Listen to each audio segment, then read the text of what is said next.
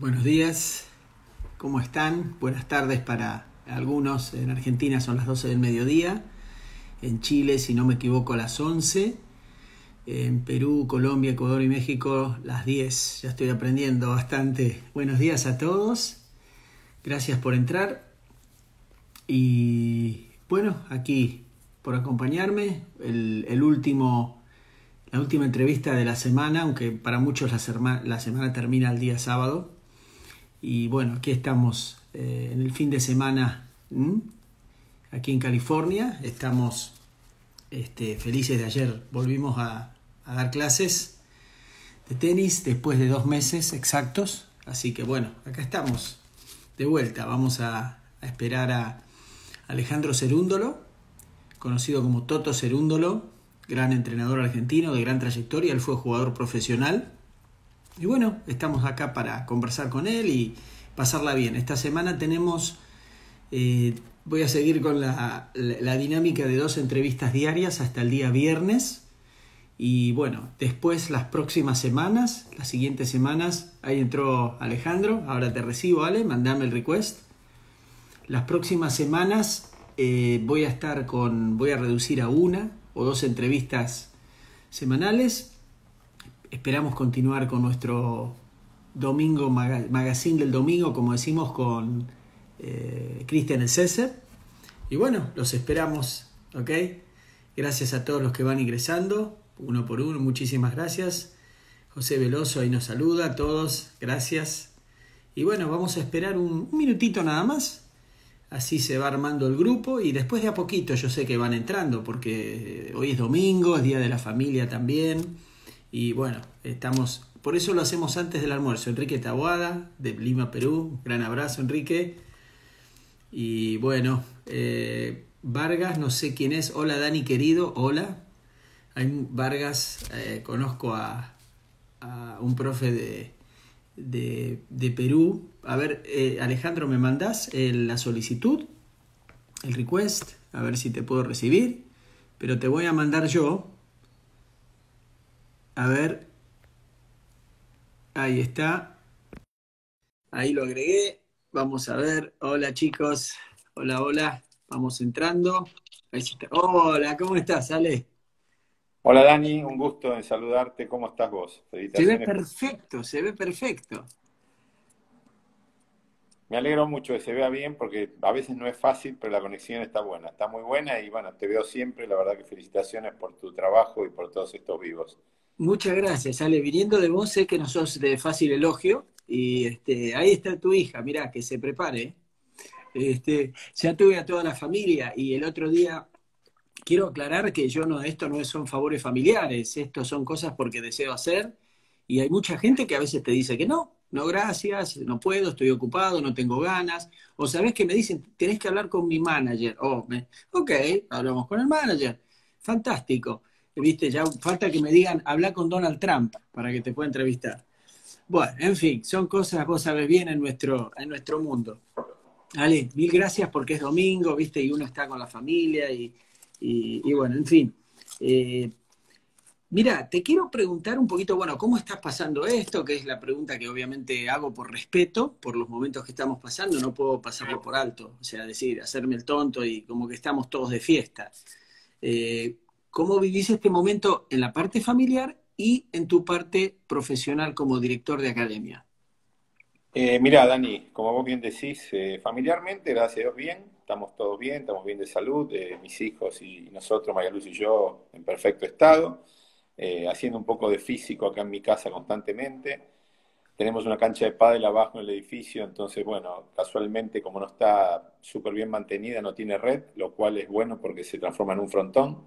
Una cancha de pádel tiene 20 por, por 10, lo cual es un excelente mm. lugar para entrenar y aunque sea hacer algo de pared, eh, no digo mm. constantemente, pero bastantes veces. Después leo mucho, bueno, escribo, envío material a todos los chicos de la academia. Eh, por supuesto, veo vivos, eh, hablé con vos en muchas oportunidades, con otros entrenadores. trato de mantenerme en forma. Laboralmente no es fácil, como academia, bueno, vos quizás, no sé, en Estados Unidos capaz es lo mismo, pero si bien la gente te sigue, te escucha y recibe el material, eh, no es sencillo el día a día y los clubes también están sintiendo este receso que ya es muy largo, ¿no? Acá en Buenos Aires y en Argentina en general. ¿Cómo manejás el tema? Eh, vos tenés un staff, ¿no? De profes. Sí, el staff, eh, si bien es también independiente porque, digamos, dan particulares y demás, bueno, nos mantenemos hablando y tratando de interactuar con la gente. Igual hoy estoy mucho más reducido porque, bueno, no es tan sencillo acá trabajar en Buenos Aires. Mm. estoy yo en un club solamente en Ciudad de Buenos Aires y mi mujer está en otro. Que es el grano social, y nada, nosotros nos mantenemos con nuestros alumnos y cada profesor se mantiene con los de ellos, pero principalmente hoy es más que nada un momento de contención, económicamente no es sencillo, la gente no está acostumbrada a trabajar por, por internet o por mm. chat, eh, si bien es algo nuevo, mm. creo que a vos te debe pasar lo mismo, el tema es tratar de interactuar con la gente, darle material, contenerlos, eh, explicarle cosas que también es bueno, porque eh, no muchas veces tenés tiempo, si bien yo lo hice siempre desde la academia, a veces los días de lluvia o algún día en especial donde vos haces algún trabajo así, digamos, más hablado, no es tan sencillo hacerlo, ¿no? Sí, no, exacto, pero estamos todos, viste, aprendiendo. Yo en mi primer vivo, no sabes el lío que me hice, no sabes qué nervioso que estaba, porque le preguntaba a Cristian el César 82 veces, ¿cómo, qué aprieto? ¿Qué hago primero? No sabes lo que era. era me sentía, viste, como en el espacio. En fin, yo me acuerdo que mis hijos me enseñaron a mandar el primer email, a mandar este, a entrar a internet a buscar clarín.com ahí en Bradenton. Imagínate. En fin, viste, vamos ayornándonos. Ale, eh, vos sos, fuiste jugador profesional, porque por ahí mucha gente no lo sabe, te tiene como coach, entrenador, etcétera, el título. ¿Qué título te pones vos? Yo le decía a Eduardo Infantino, la otra vez le preguntaba y Eduardo dice, mira, yo soy un buen profe de tenis, que fui coach, a veces entrenador. ¿Vos qué sos? ¿Cómo te, cómo te, si tuviera, viste, cuando uno llena en el avión, que, pone la profesión, ¿vos qué sos? Mira, como bien decís vos, una primera etapa, eh, bueno, yo fui, cumplí todas las etapas, digamos, de todos los procesos o pasos que cumplían la gente de nuestra época. Empecé a jugar al tenis desde muy chico, eh, hice todo, toda la escalerita que puede hacer un jugador, torneos metropolitanos, nacionales. Eh, no llegué a sudamericanos y Orange Bowl porque, bueno, siempre era el 3, el 4, el 5 de la categoría, los dos mejores de mi categoría tengo Che y Guerrero, que eran mm. excelentes jugadores, estuvieron 20 y 80 del mundo. Eh, el mejor ranking que figura mío en ATP creo que es 305, 306, si bien tiene las un poco eh, las irregularidades de la época, porque vos te acordarás que los rankings en ese momento no te tomaban las 18 mejores semanas, sino te tomaban algunas, otras no. Eh, bueno, en fin, había variabilidades y aparte no era sencillo viajar. Yo viajé entre el 78 y el 81-82. Ahí por Malvinas eh, ya mm. empecé a, trabajar. A mí me gustaba mucho también enseñar. Quedé con muchas ganas, era muy joven y bueno, si bien estaban las dudas de nuestra generación de estudiar y jugar y en fin, eh, como dice Eduardo, eh, he sido jugador, soy entrenador, hoy también soy padre de, deportistas, digamos, que, mm. que, se han destacado, como el caso de Fran y Juan Maiconita, que que bueno, les ha ido, le está yendo bien, pero tampoco es que uno como padre empezó diciendo tenés la obligación de ser bueno, sino que los acompañamos en los gustos que ellos querían. Después también escribí, hice programas en radio, hice algunos trabajos en televisión, me gusta mucho escribir, pero principalmente, como, como dijo Eduardo, soy alguien que hoy me considero un profesor de tenis, alguien, alguien que hace todos los roles pero que en, definitiva hoy lo que más hago es enseñar tenis, que es lo que me gusta. ¿no? También he gerenciado clubes, pero principalmente mi función es que me encanta el tenis y es lo que hago. Claro, es fantástico. Eh, mira, eh, ayer le preguntaba a Raúl Ramírez Hidalgo si había una escuela española, ¿viste? Porque tú dices la escuela española, la escuela francesa, la escuela esta. ¿Hay una escuela argentina? Vos, más autoridad, poca gente tiene la autoridad para contestar esto, lo digo de verdad, en Argentina, o sea, tenés una tremenda trayectoria. Mira, yo creo que sí. Toda la gente, a ver, yo soy del 59, hoy tengo 60 años y la realidad es que yo viví como, a ver, si, si, si, da, la, si da para hacer una, como una especie de, frase así, un poco utilizando a Vilas como que fuera el creador, eh, mm. quizás del tenis moderno, porque antes de eso sí estuvo Cacho Bones, Julián y por supuesto Enrique Morea, eh, hubo grandes campeones, me voy a olvidar Alejo Russell, pero la realidad es que la escuela argentina a través del top, de meter la bola, de jugar con curva, de jugar pesado, de, correr, de ser un, un luchador, un gladiador, fue Vilas en los 70. O sea, nosotros cuando entramos en la escuela de Asociación año 74, Guillermo ganaba el máster de Cuyón en Australia. Y bueno, a nosotros nos venía a pelotear, a veces venía Guillermo, eh, venía Julián González, venía Ricardo Cano, otro excelente jugador y coach y muy amigo mío, eh, venía Pancho Mastelli, venía el bicho Romani. Eh, yo creo que a partir de ahí nace lo que sería una escuela argentina que junto con la española y la sueca, podríamos decir, en los 70 y 80 fueron un poco los adalides de, meter y correr, cada mm. uno con su estilo. Tal vez acá en ese momento no había tantos reveses de dos manos, salvo Roberto Arguello, eh, pero no recuerdo más reveses de dos manos. Diego Pérez en Uruguay, pero no, mm. había muchos. Eh, en Suecia sí. ¿no? Gildemeister en Chile. Gildemeister es verdad, sí, los dos, los dos Gildemeister, Hans y Heinz. Mm. Eh, pero no recuerdo mucho más con reveses de dos manos, todo el resto era una mano. Los españoles lo mismo, metían infinidad de pelotas. Y los suecos, bueno, a partir de Borg sí, hubo muchos reveses de dos manos. Después vino Vilander, en el medio Nistrom, Sundstrom, en fin. Eh, toda una época que fue basada en correr, meter, eh, jugar con dos redes de altura, ser prolijos, ser sólidos. Eh, creo que esa sí es la escuela argentina, o por así decirlo, un poco el sello argentino, ¿no? Pero la legión, viste, de la legión la que se llama, pues para mí hubo tres legiones, la de todos ustedes, donde, bueno, en fin, eh, Vilas, y Claire, por ahí lo ponemos ya como próceres de eso, pero después está la de Jaite, de la Peña, o sea, Pérez Roldán, David, Marcus, para, para mí es una... Y después viene la, que dicen de Nalbandián, Zabaleta, bla, bla, bla, bla, Coria. Eh, e, esa de Nalbandián, digamos, que tuvo tantos top tens, eh, vos lo llamás todos esos chicos, porque la verdad jugaban todos diferentes, del Potro, al final, ¿no? Eh, eh, ¿Es parte de eso? O sea, me refiero a lo, a lo técnico-táctico, porque vos nombraste un montón de conceptos técnicos tácticos.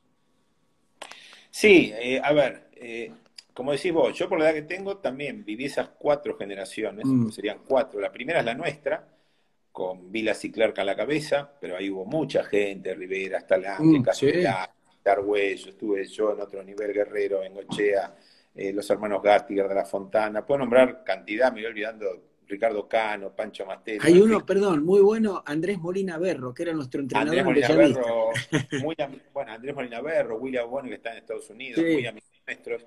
Eh, después viene, eh, ahí está también, algunos por nosotros tenemos un grupo de chicos de esa época, también está Guillermo Corti, está Rivas, mm. que está viviendo en Estados Unidos. Después viene, como decís vos, que están pegados a nosotros, que son un poco más chicos, 5 o 6 años, que yo jugué contra ellos. Frana, Perroldán, David, mm. Jaite, eh, en fin, Mirad, eh, eh Mancini, un fenómeno, Timazar, ah, De la Peña, bueno, en fin, una cantidad enorme. Después ya saltás a la otra camada, que como decís vos, la famosa Legión, que yo entrené a varios de esos también, mm. porque ahí tuve a Berloc, tuve a Bresiski, tuve a Vasallo, tuve a Chucho Acasuso, eh, no sé, Pablo Bianchi, ya otro un poco más bajo, Roberto Álvarez, que también jugaron muy bien. Mm. Ahí hay jugadores que fueron eh, extraordinarios, pero para mí la mayoría de esos jugadores metió mucho gol, digamos, metió mucho la bola y se pareció bastante al pasado. Gastón Gaudio, Cañas, eh, fueron excelentes metedores de pelotas, Chela, bueno, Chucho mismo, si bien golpeaba muy duro, tenía un concepto enorme. Albaldián y Coria ni hablar, eran dos jugadores impresionantes. Quizás el que más le pegó a la bola ahí, que se escapó un poquito de ese lote, puede ser uno Escaler y el otro es Chucho, que son los que más le pegaron. Los otros dos fueron, todos los demás fueron jugadores buenísimos, metiendo mucho. Perdón, eh, perdón que te interrumpa. Gaby Marcus te manda muchos saludos ahí. Bueno, Gaby Marcus es otro que también fue, lo entrené dos años entre los 14 y 16, un jugador espectacular, genial. Gaby ves era un equilibrio entre golpear y pensar, tenía un criterio enorme de cómo jugar al tenis, tenía, un, eh, digamos, era un táctico total, un jugador muy hábil, muy inteligente. ¿Ya era diferente a esa edad? ¿Lo veías con esa cabeza a esa edad? Bueno, sí, yo le tenía, en broma le decíamos, yo le había puesto a Amadeus por Mozart, porque era un pibe muy, capaz, era muy hábil. Eh, yo casualmente voy a, a Roland Garros del año, si no me equivoco, 89, 88 y 90 en uno de esos años yo era capitán de Federation Cup y casualmente yo tenía un alumno que era Hernán Aguste, que jugaba un poco menos, que hoy juega mucho, fue un gran jugador de pádel, vive en mm. España ahora y trabaja en la Federación de Pádel. Y también estaba este chico que el otro día me, saludó, que también tengo una gran amistad con él, es Carbonari. Y en ese, en ese grupo, que fue a Roland Garros de Junior, estaban Marcus, Carbonari, Auguste, Stringari, al cual también entrené, y Piqui Arnold, que eran los cinco juniors de ese momento, año 89. Quizás, por supuesto, Gaby después se destacó mucho más, llegó a estar entre los 30 del mundo, y fue un jugador, bueno, excelente, que lamentablemente por, por el tema de sus lesiones no pudo continuar. Eh, pero sí, fue una época genial. Después ya caes en esta última nueva mini mm. legión, por así decirlo, son mm. estos chicos que están hoy, eh, son estos cinco chicos que han ganado el Orange, que está Juan Manuel, Heller, Tirante, Baez, Carlet, eh, más un montón de otros juniors que juegan muy bien, de la época de Juan Manuel y, más arriba también, de la época de Francisco, bueno, está Camilo Hugo, Echeverri, hay, un montón, sería, quizás me voy a olvidar y pido disculpas porque no puedo nombrar a todos, eh, que son chicos muy, muy buenos, pero bueno, que están en el, en, el camino a, bueno, a ver en qué se transforma. Ahí tenés a todos estos chicos, por ejemplo, digo, Schwartman, Bagnis, eh, que ya son más jóvenes, que hoy tienen entre 28 y 30, Leo Mayer, eh, pero ya ahí, como vos decís, ya empieza a variar un poco más los estilos. Ale, perdón, tu cara está subiendo un poquito. Ahí. El teléfono. Ahí. está bien, ahí está bien. Mira, eh, contame, contanos, no, contame, parece que fuera para mí. ¿Qué cosas tiene buena la escuela argentina eh, a lo largo? Ya explicaste, creo que ya dijiste. Vamos a ver lo otro. Pues ya hablaste de la solidez, la garra, eh, aunque ahora hay estilos diferentes, quizás porque ya juegan un poquito más en cancha rápida, ¿verdad? Eh, ¿Qué cosas le faltó históricamente a la escuela argentina? ¿Qué dirías el, en el debe? Que vos decís, bueno, Dani, sí, tenemos grandes formadores, pero nos faltó esto. a ver, no sé si la palabra faltó, yo creo que vos también has enseñado mucho y sos un excelente profe, lo sabés, creo que... Eh, Muchas gracias. Si tenemos un país con 44 millones de habitantes y desde el 74 para acá hemos tenido, el otro día me daban un informe que era muy interesante, hubo 60 jugadores que estuvieron entre los 100 en los últimos 50 años. Después si querés te mm. mando la lista, es muy interesante. Sí, sí, sí, por favor. Todos los jugadores, eh, con las edades, donde, donde se metieron y todo. O sea, no sé si la palabra faltó, porque también, a ver, Vilas hizo, si no me equivoco, eh, siete finales de Grand Slam, ganó cuatro, eh, Del Potro hizo dos, ganó una, Gaudio ganó una, Gaby ganó otra y perdió otra. O sea, en realidad hemos logrado, hemos ganado Copa Davis, mm. em, hemos hecho finales de Copa Davis. Yo, bueno, tuve la suerte también de ser capitán de Federation Cup en el año 88, 89, 90, con un lote de chicas argentinas que fue genial. Mm. Em, lo que se puede poner en el haber, eh, no sé si las canchas eh, son rápidas, porque vos que vivís en Estados Unidos lo sabés, hoy las canchas son duras, mm. eh, más que rápidas, y normalmente a partir de Challengers y ATP la cancha dura es más bien lenta. Mm. Eh, quizás la cancha rápida está más en Futures. Mi hijo este año ganó justamente un 25.000 Francisco en Los Ángeles, en una universidad, y me decía que la cancha era relativamente un poco más rápida. Juanma estuvo también en... En UCLA, ¿no? En la universidad estuvo en UCLA, aquí cerquita. Sí, no sé exactamente en cual, es más, tengo un amigo que lo alojó, que es, capaz que lo conocés, que es Tristan Boyer, que el papá es Chris Boyer. Sí, sí, sí, sí. Juega muy bien de la edad de Juanma. Y Juanma estuvo en Armour, creo que es otro lugar ahí en Michigan, también ese lugar es más rápido. Mm. Él jugó 25.000 y un Challenger, y él me dijo, ahí sí realmente la cancha era muy, muy rápida. O sea que en el haber lo único que puede ser es que eh, a nosotros nos cuesta mucho trabajar el saque y la devolución. Ah, eso, espera, ahí te detengo. ¿En el saque no crees? Porque eh, ¿no crees que fue nuestro, digamos, talón de Aquiles a lo largo de los años? No estoy hablando de ningún caso en particular, ¿eh? no estoy diciendo ese sacó bien o mal, en general.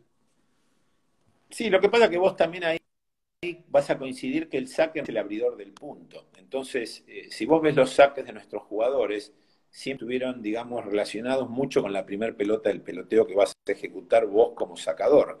Entonces, a veces no tiene mucho sentido 100 kilómetros por hora porque si bien podés generar mucho también podés generar muchas devoluciones extrañas, porque un saque de 200 normalmente va a generar o va a provocar, un, a veces puede ser un slice corto, una devolución tal mm. vez tan rápida como la que vino. Entonces, tu comienzo de punto va a ser mucho más desprolijo. Entonces, si vos le pones un saque tan duro a un jugador mm. argentino, inmediatamente creo yo que tenés que enseñar con la segunda bola. Le vas a tener que enseñar un buen approach o una segunda bola casi de definición, porque no va a encadenar demasiado. Eh, digamos, el punto va a arrancar de una manera mucho más violenta que haciendo un saque con kick o con slide. Vos fíjate el caso de Schwartzman. Schwartzman tiene un saque mm. hoy totalmente adaptado a su altura.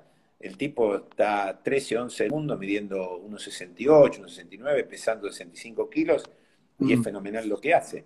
¿Pero por qué? Pues su saque está adaptado a su altura. O sea, a veces cambiar tanto el saque, acuérdate de Coria cuando quiso subir la velocidad del saque, Coria era un fenómeno, y sin embargo cuando subió el saque con perlas a 200 kilómetros por hora, se le complicaba un poco la segunda bola. No es que fue mm. exactamente, y para la altura que tenía estaba sacando una velocidad que era sideral. Mm. Eh, entiendo como vos lo que vos decís, pero vos también viviste acá y sabés muy bien que los juniors juegan desde los 8 hasta los 18, torneos en todo el país. Eh, acordate lo que era jugar en el interior. Si vos vas a jugar un regional a Bahía Blanca en junio y te ponen a las 9 de la mañana, eh, yo creo que lo llevas ahí a, a, y no va a poder sacar tampoco. Pues la cancha es un barreal, las bolas pesan 10 kilos, mm. hace un frío infernal y es nuestra realidad. O sea, digamos, no que tenés un frío de 10 grados bajo cero, pero si jugás con 4 o 5 grados en el medio de un club que está en el medio de un campo, eh, la bola no corre demasiado. Entonces los chicos tienden a poner la bola en juego y empezar el punto. Esa es la realidad. Claro, claro. Eh, lo que hablamos, eh, inclusive Zabaleta lo escuché ayer con De la Peña, decía, tenemos que jugar más en cancha rápida. Dicen, en Argentina se refiere. ¿Vos cómo ves eso? Yo personalmente es mi sugerencia cuando me preguntan. Yo digo, yo no vivo allá ahora, en mi país, pero es fácil hablar desde afuera. Pero considero que si los chicos también pudiesen jugar más internamente en cancha rápida, sería por ahí un poquito más de la transición. ¿Cómo ves eso, Ale, vos? Mira, es, una buena idea. Lo que pasa es que acá no tenemos clubes que tengan 6, 7 u 8 canchas. Eh, eh, perdóname que yo insista con la diferencia entre rápida y dura, porque vos cuando jugás... No, no, no, correcto, correcto. A nivel, a nivel alto, y vos que enseñás en canchas seguramente duras también, eh, sabés muy bien que hoy, hoy la dura mal, digamos, es lenta, se puede jugar perfectamente. Ahora, puede suceder, Juanma me contaba cuando fue a Australia, que eh, en, las afueras de la central, las canchas que estaban periféricas son más rápidas. A veces sucede que en un gran Slam como de distinto nivel de velocidad. Él me dijo que por el US Open pudo jugar bastante bien, la cancha no era tan rápida, le sorprendió el pasto de Wimbledon actual, pero es verdad lo que dicen Zabaleta y como decías vos ayer, eh, si uno pudiera devolver en cancha dura, me parece que eso es lo que más le cuesta al jugador argentino. O sea, digamos, exacto. Yo creo, como siempre lo hablamos perdóname, perdóname, que David, perdóname, que David Nalbandial lo hacía de maravillas.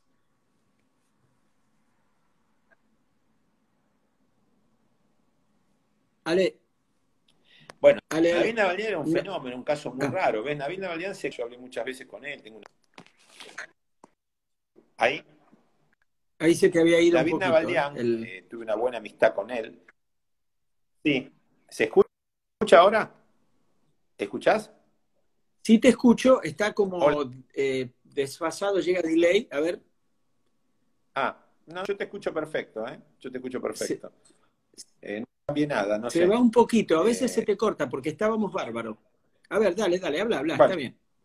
no, te decía, Albaldián es un jugador que, como bien decís vos, eh, él tuvo una formación en Unquillo, en Córdoba, y tengo entendido mm. con él muchas oportunidades que él se formó en una cancha más bien, eh, quizás sí, muy rápida, porque una cancha de cemento de pueblo que no estaba en buenas condiciones.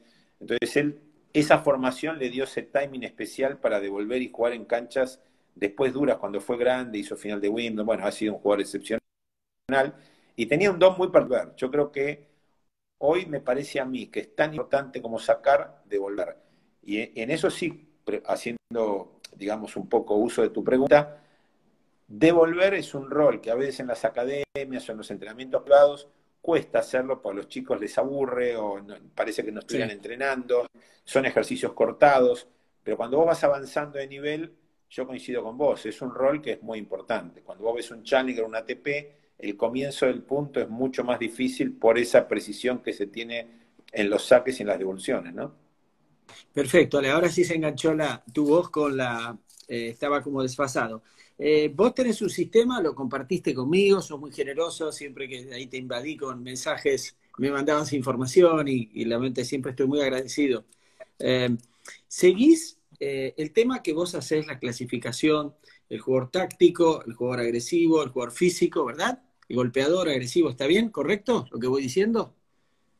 Sí, yo, a ver. Eh, eso, perdón, ¿lo eh, mantenés aún? O sea, o le agregaste o le algo, o decís, no, mira, Dani, esas son mayormente los, los pilares de los estilos. No, yo lo que busqué, como te dije en su momento, en el 97 la ITF hizo una mm. división de cuatro rubros, el contraofensivo, el ofensivo, el jugador total y el sacador y goleador. En ese momento eh, me parecía que era una buena división, pero era más complejo para un chico que entra a una cancha a darse cuenta que hay del otro lado. Porque quizás el contraofensivo y el ofensivo es muy dinámico, porque vos sabés muy bien que en el tenis masculino, en el femenino también, uno pasa de defensa a ataque en un instante, eh, mm. el ida y vuelta es muy rápido. Entonces, yo lo que traté de hacer en la academia es hacer un sistema un poco más sencillo, como yo siempre lo explico, piedra, papel o tijera, decir, bueno, físico, táctico, golpeador. Entonces, esas determinás rápidamente con quién te enfrás. Normalmente un golpeador sabe que encadena corto, va a jugar en dos, tres bolas porque tiene ese poder de dañar, entonces va a buscar. ¿Sabes qué? Para, perdón, Ale, vos que sos un docente, pues sos docente, sos, bueno, poner el título que quieras. Danos ahora, bueno, hay muchas, piste, profe jóvenes, sé que hay porque los voy a entrar.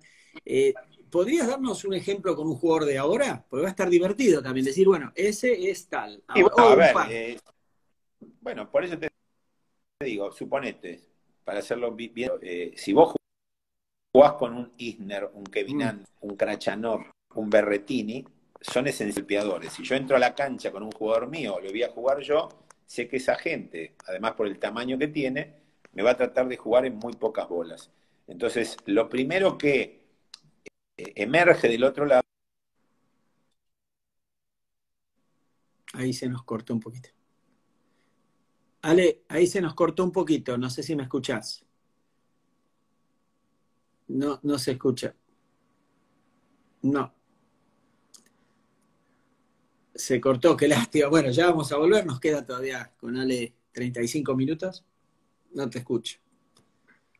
Veníamos bien, veníamos bien. Bueno, porque este tema es muy lindo, a todos nos gusta y Ale sabe un montón de esto. Yo comparto mucho con él en forma privada, hablamos mucho y bueno, eh, siempre nos enriquecemos. Se cortó, sí, él lo sabe, está pidiendo ayuda. Seguramente hay alguien del equipo de la casa. Este, muy interesante. El ¿Vos me escuchás? ¿Vos? Este, algo, algo ha pasado. Voy a, voy a cortar, Ale, Ale, corto, ahí está. Sí, cortamos, cortamos y yo vengo bien con el wifi, cortamos y, y empezamos de nuevo, ¿sí? Vamos a cortar.